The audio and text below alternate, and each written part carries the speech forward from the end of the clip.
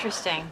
And would you agree that the primary way we would evaluate either the success or failure of the date would be based on the biochemical reaction during the goodnight kiss? Heart rate, pheromones, etc. Yes.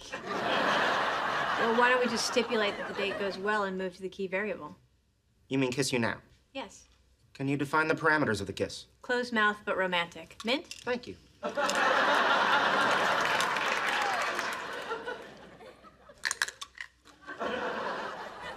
Shall I count down from three? No, I think it needs to be spontaneous.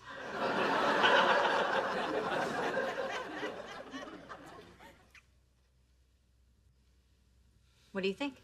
You propose the experiment. I think you should present your findings first. Fair enough.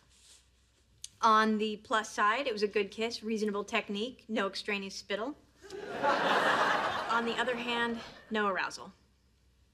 None? None. Ah. muito bem.